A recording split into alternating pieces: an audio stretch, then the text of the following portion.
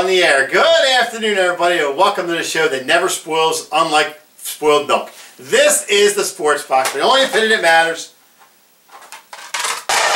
It's right here. I am Mike Galetta, aka Hamilton Mike, along with my soon-to-be father, Brian, the Ranger at heart. Brian, how are you today? Phenomenal, sir. How are you? Oh, see, I got you. You got second yeah, so up, you, you got that going. Attaboy. Wait, give me a year, then then talk to me. anyway, to the congratulations. Anyway, today we are going to back at our NFL 32 NFL teams. Today we head out to the West to talk to a guy from, well not from, but about his team, the Denver Broncos. Let's bring him on the show, Brian. Let's talk to Will. Okay. Will Pitt. Hey, that boy. I, I wanted you to say it. Ah, this guy never gets anything. Will, welcome to the show.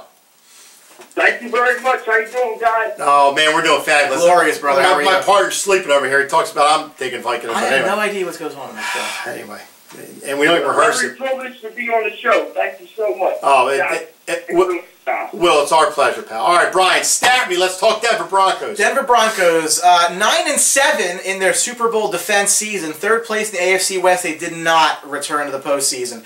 Uh, offensively, they did struggle. They were 27th overall in the league, the 27th best rush attack, the 21st attack through the air. Uh, Trevor Siemian was a surprise out of camp, won the quarterback job over Paxton Lynch, 3,400 yards, 18 touchdowns, 10 interceptions. Uh, rookie Devontae Booker led the team in rushing with 600 yards and four touchdowns. C.J. Anderson, as you fancy players know, got injured early on in the season. Booker took over from there. But their, their wide receivers were fantastic. Demaryius Thomas, Emmanuel Sanders, both over a thousand yards apiece. Both both had five touchdowns. But really, after that, there wasn't anything else through the air uh, for Denver. Their defense was just fantastic, as it always is. The fourth overall defense in the NFL. But you may be surprised to know that they finished 28th against the run. They really did struggle to stop the run. But numero uno, number one through the air. Well, Von Miller can't make every tackle. That's true. So. Drafted Garett Bolles, offensive tackle out of Utah with a 20th overall pick. Yep. And, well, I want to start at quarterback. You know, I think Siemian was a big surprise last year Yep. that he won that job over Paxton Lynch. You know, everybody's like, oh, John Elway picking Paxton Lynch. He's going to be the next guy. How surprised were you, and still are, that Paxton Lynch can't overtake the job from Trevor Siemian? Well, you see, I just, I just think Siemian came in really prepared. I mean, ultimately prepared. Far beyond my expectations. Uh, me being a Broncos fan, I did, you know, have high hopes for Paxton Lynch. I thought he would get off the ground and get off the ground early. Uh, it didn't happen that way, and you guys see how things culminated. Um, but Trevor Siemian, I have to admit, I am I am extra pleased with him. Uh, he could be he could be far more along, but uh, overall, I must say, I, I am I, I am very pleased with him. Yeah, Brian talked about the quarterbacks. I'm going to go to the the the, uh, the skill positions, the running back and the wide receivers. Talk about this running back position with Denver. It just seems like every year they, they plug a guy in there and he does his job. This year they pick up Jamaal Charles, take a chance on him. They do have Stevan Ridley in there. Um, you know, it's a plug and play offense. But my thing is the wide receivers. You talk about Demaryius Thomas, Emmanuel Sanders. The big talk in camp though is Isaiah McKenzie. And you probably never heard that much, but here comes a rookie um, to the Denver Broncos out of Georgia. I hear this kid really, really looks good and could crack the lineup. What do you think? Well, just uh, bring news to you. We did let Stevan Ridley go earlier today. Yep. Uh, you know, I must say good riddance. uh, he didn't do anything. But as far as the kid goes, I, I see a lot of promise. Yep. You know, but Carlos Henderson, come on. We got to be real. As far as the backfield is, we are pretty stacked. Uh, Jamaal Charles, we see how injury plagued his career has been. Mhm. Uh, every year, from a fantasy aspect, you know, we get high hopes on him. In reality, it just doesn't come to fruition. Devontae Booker, you know, maybe to my demise, hopefully not. I took a chance on drafting him. I got laughed at. Uh, C.J. Anderson is supposed to be now the, the, the guy that drafted him. wa- You know, all I heard from the crowd was, "Oh, nice pick, nice pick." Now C.J. C.J. I mean, he's been efficient. I, I didn't really even think he was going to flourish like like he like he has done. But especially when Montee Ball was in the mix. You Yes, know that whole, yes. Look, as far as the stable of running backs go, you guys know our history in Denver, okay? Mm-hmm. We produce with the running backs. We don't even have the line that the Dallas Cowboys have. But when it comes to running back, we produce a stable. So it does not matter who we hand the ball off to. We are going to get the job done. So you put any anybody's name in the slot, and we can make it happen. Well, you, you brought up the line, Will, and it's an excellent point. You know, it looks like they're- they're projected to have three new starters over the team from last year. When you look at Menelik Watson from Oakland, Ron Leary coming over from Dallas, and they drafted Garett Bolles to play left tackle. So, you know, the, the question with this Denver offense was not just the quarterback, but their offensive line. I think they've done a nice job of doing their best to address that hole. What do you think? Definitely. Definitely. You hit it right on the point. We did the job to address that hole. Garett Bolles address that hole. Garett Bolles address that hole. He's going to be an immediate starter. He's going to make an immediate impact, and that's what we needed. Now, you see on the defensive side, you see what we have. Now, you know just like I know, the, the, the Baltimore Ravens, they will be the prototype of of a team that won the Super Bowl strictly off of defense. You know how it could be done. So, if you could facilitate that just somehow and have that offense come into play and just make something happen, you can be successful. We had that defense. We had to do that shutdown quarter. Come on, man. We had everything in play from our Super Bowl one. So if everything can just fall into place, there's no telling what can happen. Now, it could go either way, but everybody knows what we stand for. The Denver Broncos. So I Will, love, I love, I so, love Will's passion. So Will, I gotta disagree with you. If Brian Atar was in the backfield for Denver, they would you guys would struggle. But anyway, that's a whole I got a different thousand story. yards. I don't know about that. I'll just keep running. I mean, until I got a thousand. I don't know about that. Anyway, we're going to talk about the defensive side of the ball, and you know, you obviously the, the name players and Von Miller, uh, Brandon Marshall back there uh, do a good job for Denver. But I am really surprised in the secondary. You got guys like Chris Harris back there, uh, Darian Stewart, T.J. Ward, which is fine, but. I really thought before this season started, Aqib Talib would be out of there. Here's a guy who, you know, been fighting some off off season, uh, you know, issues. Was a bad dude when he was with the Buccaneers. Had problems in with New England. Are, are you surprised he's still on this team?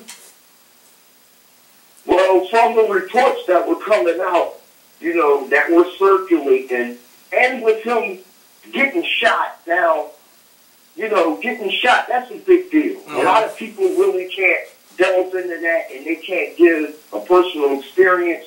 Me, I can because I was shot myself, but that's another story for another day. Now, just recovering, personally, it took me over 10 months to recover from my gunshot. Now, he, you know, it, obviously he got shot in, in a, a a lower extremity, which was different from, what, you know, what, what I was affected by. But you have to you have to know that that is what he needs to excel on the field. So that will hinder him. So when I got the news of that, that you know of what happened to him, I automatically thought, okay, you know, they they're right now, you know, there's a setback, and if you know we're talking business wise, you know, now I'm not there firsthand, but being a fan, I, you know, I might want to look in other directions, you know, looking at his history, his age, everything, put in, in the place and seeing what he's about off the field, on the field, whatever. But yeah, ultimately I was surprised that they did keep him. Now, it, it'll be, you know, left to see what he has left to prove. You know, it, it seems he's still sort of highly touted, but that's only words. That's, you know, wordplay. That, you know, we have to see act. We have to see action now. Right, But right. you know, We're talking to Will Pitt, our Denver Broncos affiliate for the Sports Box. So, you know, the, the defense, which obviously everybody knows Denver for, it- it's not just their secondary. You know, Von Miller is one of the best defensive players in the league. I think that goes without saying. 13 and a half sacks last year, but he's, he needs a little bit of help, too. Is, is there a guy on this Denver defense that nobody's really talking about that could be a, another difference maker, that so it's not all on Von's shoulders to lead this whole thing going forward? Well, you know, they're a cohesive unit. So you can't put it on one person, one person's shoulder. I mean, you got Vine, you got Derek Wolfe, you got, you know, Shane Ray, Chris Harris, Talib, Brandon Marshall, Todd Davis, T.J. Ward. The list goes on and on and on. Now, the, the way you de- develop players is to, to come up behind these veterans and find out Mm-hmm. what it is to be a defensive star. And you guys see for, for, for the past, for, you know, few years, we, did that defense. And beyond those few years, we have been competitive with that defense. But you must say, these past few years, we've been that defense, okay? So any name you put on that slate, that's what I'm saying. Anybody's name is just like the Patriots. Either as much as I really, you know, have, you know, certain feelings for the Patriots, I have to call a spade a spade. They are a machine. And it does not matter whose name is on the back of the jersey. That's what we uh-huh. have to all have to understand. And and it's different clubs because a lot of clubs don't focus on an individual or certain individuals, whereas it's teamwork. Just like in basketball, certain teams are teams where they rely on certain individuals, and you have you know different outcomes. But the Denver Broncos, you know, what our signature, we're going to bring that defense. Okay, we're going to bring that defense. Right now, that's what that's what we're focused on. You know, we going to attend Super Bowls regularly. Okay, we know how to do it. So it doesn't matter what side of the ball you guys want to talk about, the offensive or the defensive, and you can keep on, you, we can keep on naming names and names and names and names. There's a, there are many names and role players, okay? But we can go like Game of Thrones and argue with the Listen, we are a unit. We are going to get things done regardless of how it's going to be and who's going to do it. Bring it. So, Will, we're going to talk about we're going to talk about the schedule a little bit. I like to look at what's called Murderers Row, where there's three or four games where the team is going to struggle a little bit, or we're going to have a rough stretch. Oh man, it, uh, and see, I, I'm analyzing the schedule so much, there, there you know, especially those first four games. Yep. That, that, that's like a rough patch. It, You know? it is, but I'm going to give you. I'm going to give you. Let, let's get that. Let's talk about that, please. Am I on the show? Will's the man. Will's I, I man. love Will's passion. I- I'm going to talk about Week 10 when they are home against New England on a Sunday night game, and then they play the Cincinnati Bengals. They are off to Oakland, and with that in mind, playing Oakland is going to be a very tough game in Oakland, and then you're off to Miami going cross country. That could be a trap game for them. So that stretch of four right there is going to be a little bit difficult for Denver down the stretch. Nah, well, eh, you know, here's my prediction, all right? I already got the prediction. Now, you know, I, I, I'll get to that quickly. I'll get to that real, I'll focus on that, but I really want to focus on the whole schedule. Hopefully I can go down, I can let you guys know, you know, my insight on Absolutely. each game. But if you want to talk about that stretch of games right there, I really don't see those as trap games because what you guys have to acknowledge is the division games are very important. So, you know, it depends. You, could go, you know, undefeated in the, in those division games, but most likely you, you want to split those. Okay, so I, I got us, you know, I got us winning at Kansas City on, on the 30th of October, and, and then I got us going to Philly and winning there. But yeah, I do have us losing against New England. I have us losing against New England on the 12th, but I come, I have us coming back, winning against Cincinnati, and then losing against Oakland, mm-hmm. honestly, mm-hmm. because I have us beating Oakland on the 1st of October, which is the fourth game. And I would think that they will most likely have things together, you know, by then with Carr and Lynch and, you know, everything will be in the play by then. So I would give them that game. But then Miami, I, I, I've got us winning that game. Now, I love Cutler. And Brian knows that. Mhm, he does. Brian knows that I have I have mad love for Cutler, and he's one of our alumni. And I do think that they are going to excel if they can stay healthy this season. But when they, you know, that day when we go down there and see them, I do not see them doing successful that day. Okay? You know, and I see us going on the streak after that Oakland game. I see us winning out. I'm going to just tell you that right now. I got us winning out after that Oakland game. I don't see nobody else beating us after that because of the fact that the Jets, they're trash. and that's who we see. That's who we So much for Matt watching the show again. And, and folks, you know, it's always a nice game with the Colts. It's a nice game with the Colts every year. That's what, for some reason, even if when we play, play them a couple of times, it's always a nice game with the Colts. Now, Washington, Washington. Will, Will, it's only it's only a twenty minute show, Will. we love you, but it's only I do, twenty. I do have, I do have us dominating Washington. Now we'll see, because you know how banged up they get. You know that they have no running game, and it's cousin is here. by by that time things will be rolling for us. Okay, and then Kansas City because uh, that's the one division rival that I do think that we will beat out. I think that we will beat them out because their running game has been deplenished. So those last fi- uh, five games, I see us winning after Oakland.